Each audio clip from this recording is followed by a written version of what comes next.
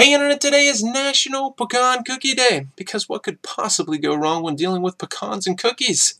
Nothing. So let's go make some vertically challenged pralines. Alright, here are our ingredients. Now let's get started with this. First you want to line your cookie sheet with your graham crackers. You may need to shave them down a little bit on the end, but they will fit and they will look nice and pretty. And now it's time to chop up some pecans.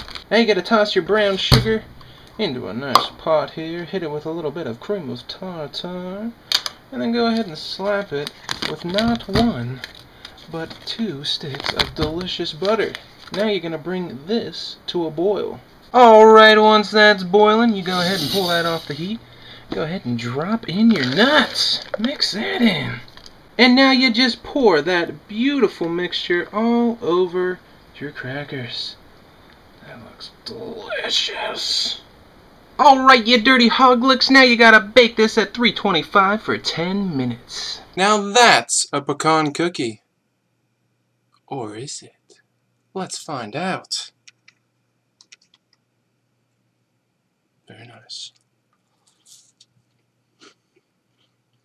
Mmm.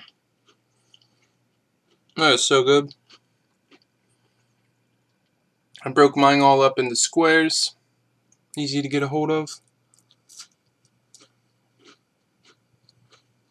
Mmm. Nice toffee flavor. A plus. If you want to make these yourself, then I don't blame you. Just click the link down below for the recipe. And click the link below that if you care about your waistline.